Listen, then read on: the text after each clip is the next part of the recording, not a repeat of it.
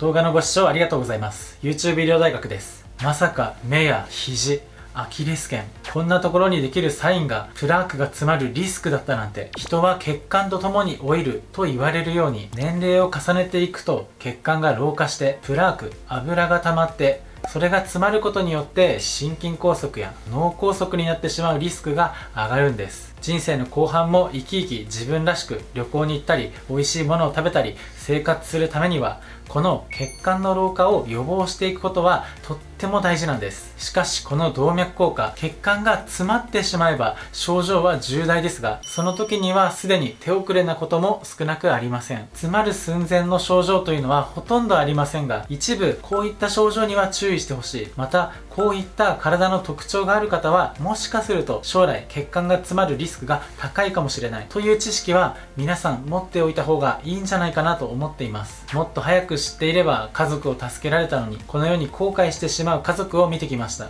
例えばこの画像をご覧ください。これは眼瞼黄色腫といって目のまぶたの部分に油脂質が溜まっている変化です。ぜひ鏡を見て皆さんや皆さんの周りの方にこの特徴がないか見てみてください。2022年にデンマークで行われた研究ではこの眼瞼黄色腫という変化を持っている方は持っていない方に比べて40代でも50代でも60代でも70歳代であろうとも将来の心筋梗塞やそれに伴う死亡のリスクは高かったという報告があるんです。例えば70歳代の方の心筋梗塞のリスクは10年間で黄色種がない方は19%だったのに対して黄色種がある方は28%と明らかに高かったということです。こういった知識が一つあるかどうかで自分は人よりも気をつけた方がいいかもしれないな。動脈硬化をきたすその他の血圧とかコレステロール血糖値気をつけた方がいいかもしれないな。という心がけが変わってくるんじゃないでしょうか。ちなみにこの眼瞼黄色種が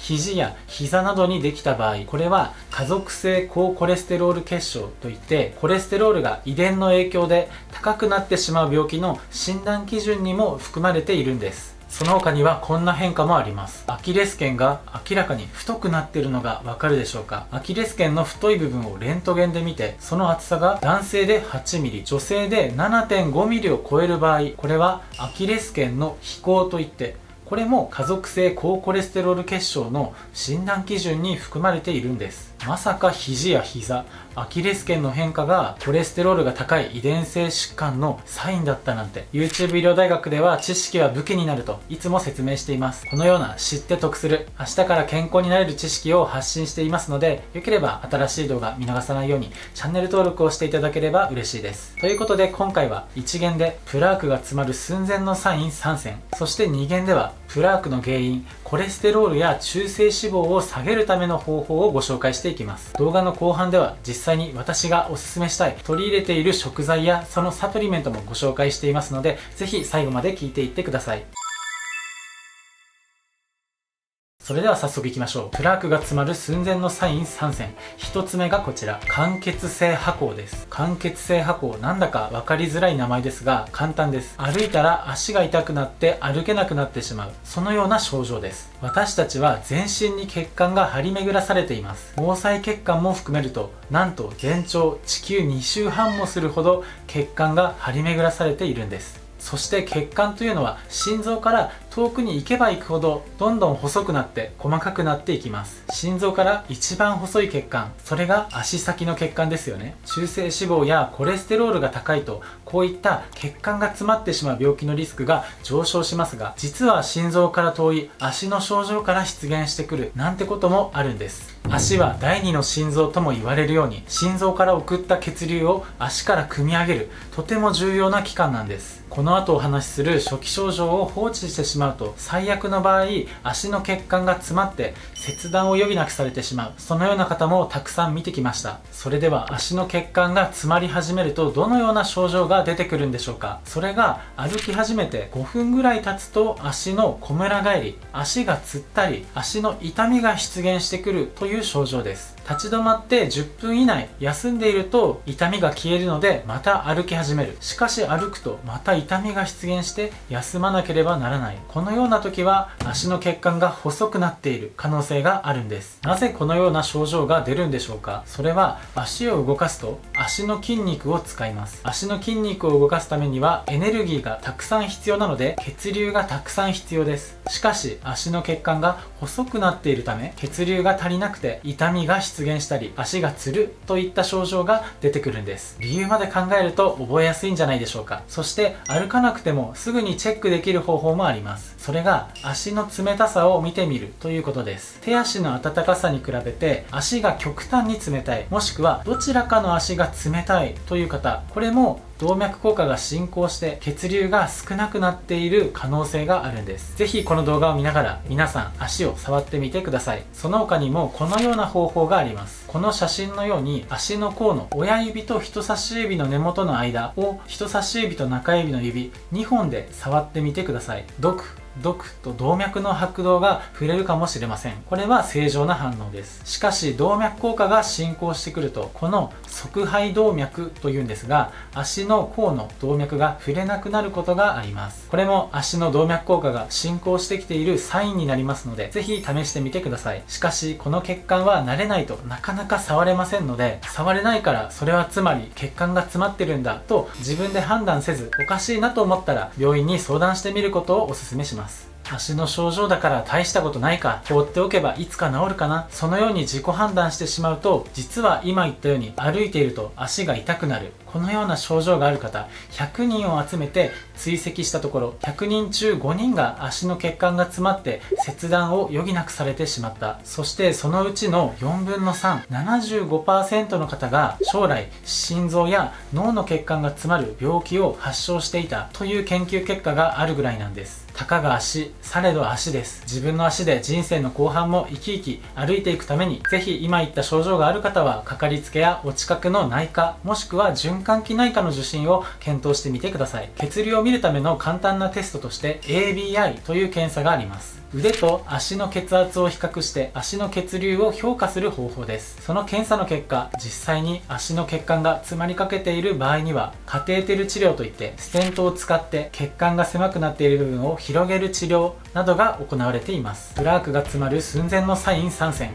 2つ目がこちら。一過性の虚血発作です。聞いたことありますか？なんだか難しい名前ですが、このような症状です。一瞬だけ体に力が入りづらくなったり、しびれが出現したり、喋りづらくなるような症状はあったけれども、5から10分程度したら、その症状がすっかり消えてしまった。このように脳梗塞のような症状が一時的に現れるものを一過性の虚血発作と言います。これは脳の中で何が起こっているかというと、微小なプラークや血液の塊、血栓などが脳に一時的に詰まるんですが次第に溶けていって一時的な症状で済んでいるということなんです溶けたならよかったじゃんと思う方実はこれはこの後起こる脳梗塞を予兆している可能性が高いんです喉元過ぎれば暑さ忘れる症状なくなったからいいかと放置せずに思い当たるようなことがあれば直ちにかかりつけの病院や脳神経外科の受診などを検討してみてください。脳梗塞にはゴールデンタイムというものがあります。それは4.5時間です。脳梗塞が起きてしまうと脳細胞は酸欠状態になってどんどんと壊死していきます。この壊死は時間が経ってしまうともう元に戻ることはなく完全に脳梗塞の後遺症として麻痺などが残ってしまいます。しかし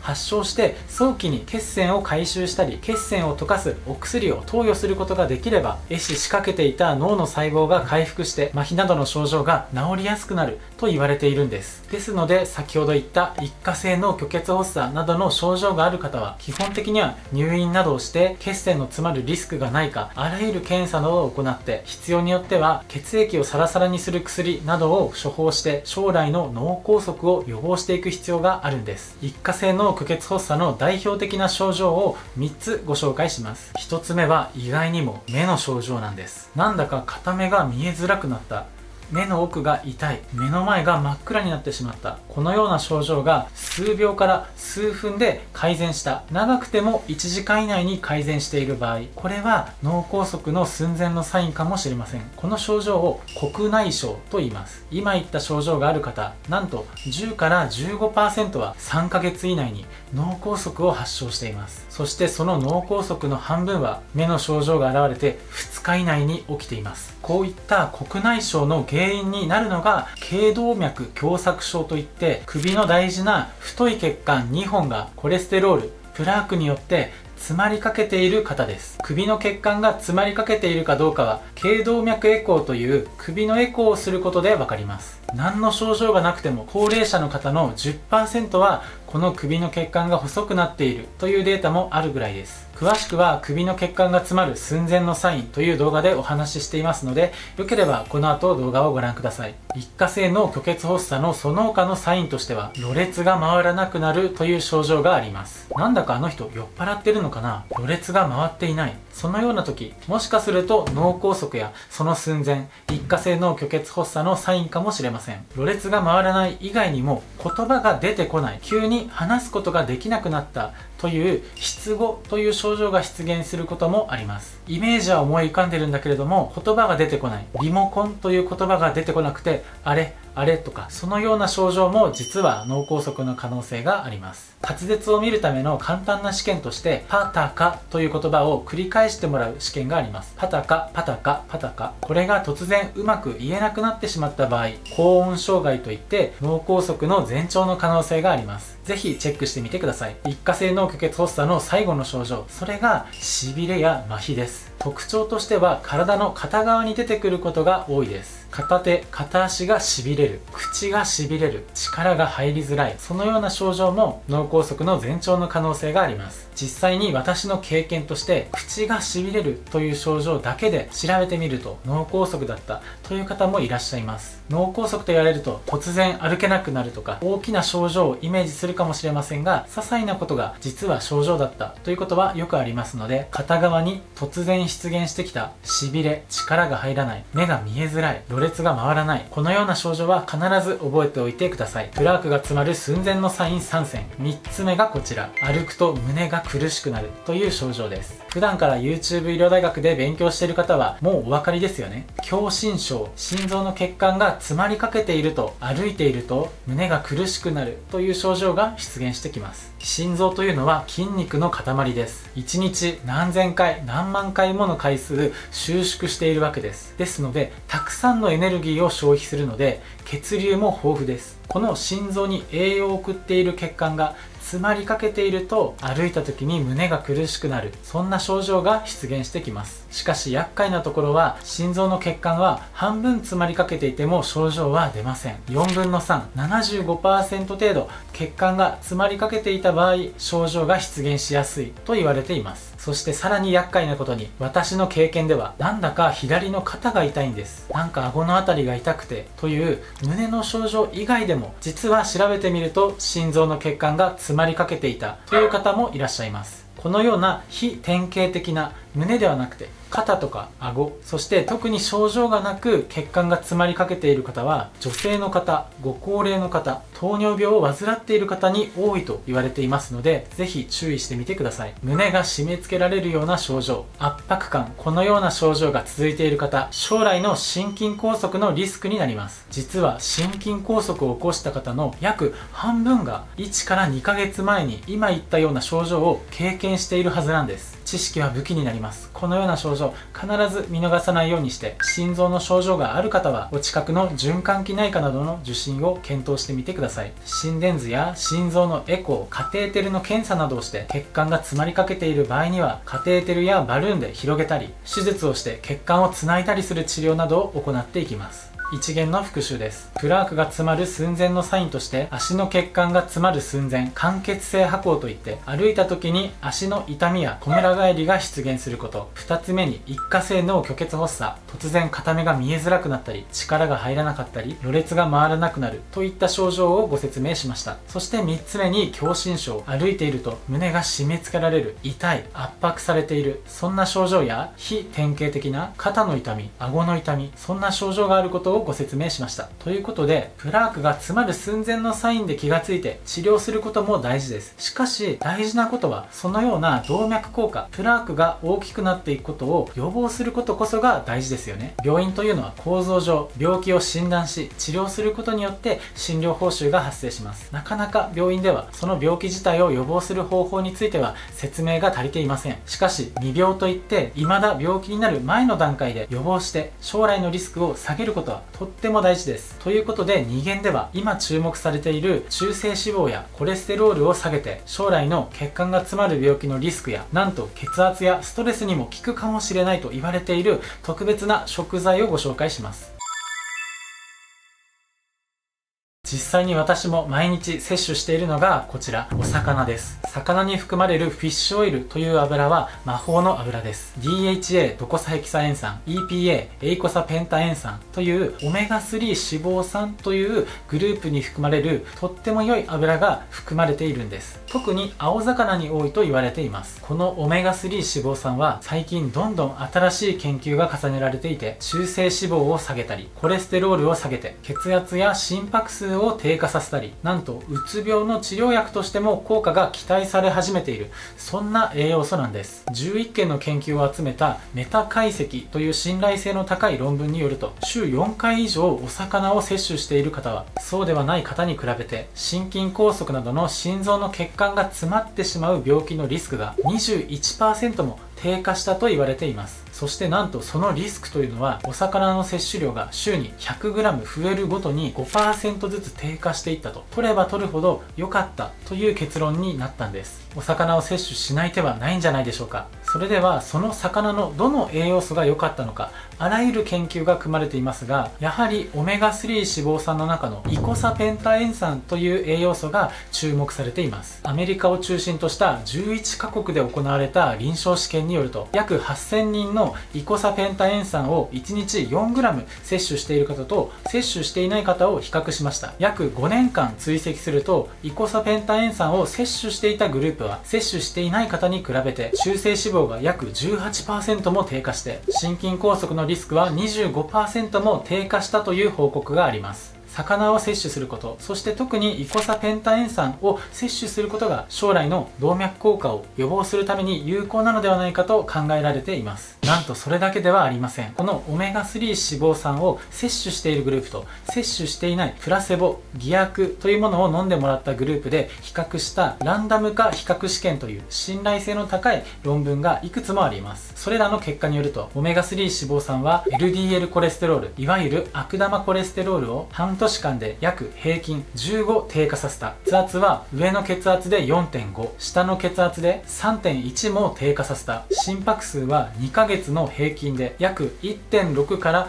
2.2低下させることができたという研究結果があるんです。悪玉コレステロールを15下げる。血圧を5下げる。臨床で医師をしていてこれがどれだけ難しいことかというのは日々痛感しています。運動してもなかなか下がらなかったり食事を頑張ってもなかなか下がらない。そんな方はたくさんいらっしゃいます。しかしお薬にはあまり頼りたくない。そういった方はこのようなオメガ3脂肪酸を意識的に摂取していくというのはとっても大事だと思います。その他にもこのイコサペンタ塩酸をうつ病の方に投与するとうつ病の治療効果が改善するのではないかという複数の研究を集めたメタアナリシスという論文が発表されました。うつ病の方にイコサペンタ塩酸を1日1から 2g 本来のうつ病の薬と一緒に投与した場合投与しなかった場合と比べてうつ病の改善率が上昇したという報告があります。血圧やコレステロールだけではなくてうつ病にも効果が期待されている。今とっても注目されている栄養素なんです。本来こういった栄養素はナチュラルフード自然の食事から摂取することができればより良いと思います。しかしなかなか青魚を意識的に摂取することが難しい。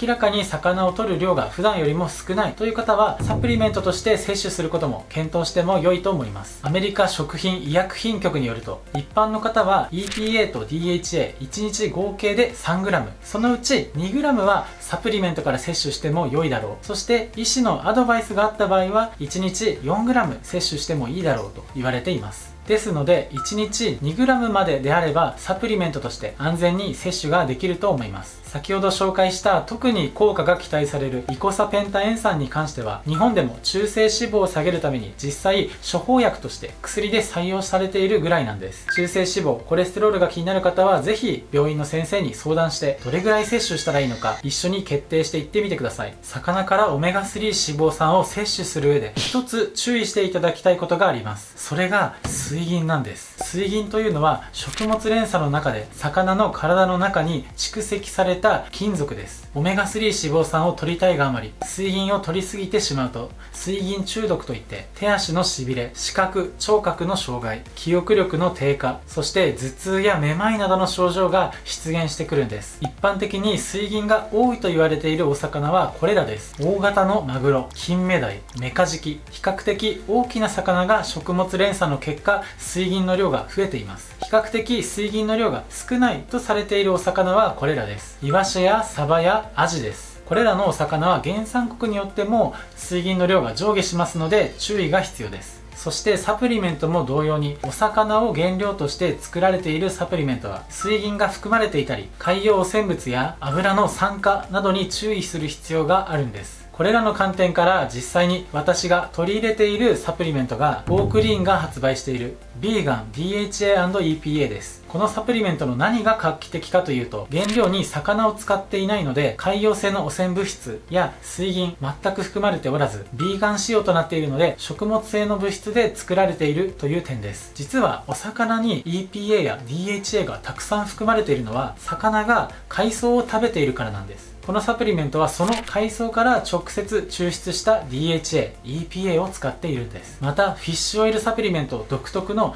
食べた後に口から魚のような匂いが上がってくるという症状も全くありません。せっかく体に入れるものなので、安全が保証されたものがいい、酸化した油や海洋汚染物質は避けたい。そのようなこだわりがある方におすすめしたい商品です。もちろんサプリメントというのはサプリという語源から来るように不足している分を補うという考え方ががとっても重要です。自分の食生活を見返してみて忙しくてなかなか足りていない医師や栄養士などから足りていないと言われている。そのような時にこのようなサプリメントをうまく活用して将来の脳梗塞や心筋梗塞などの重大な病気を予防するためにそもそも発症させないために活用していってみるのはどうでしょうか。気になった方は概要欄に商品リンク貼っておりますのでそちらから詳細をご覧ください。いかがでしたでしょうか。今回はプラークが詰まる寸前のサイン3選。そして今注目されているオメガ3脂肪酸 DHA、EPA について解説していきました。このように YouTube 医療大学ではデータにのっとって明日から健康になれる動画、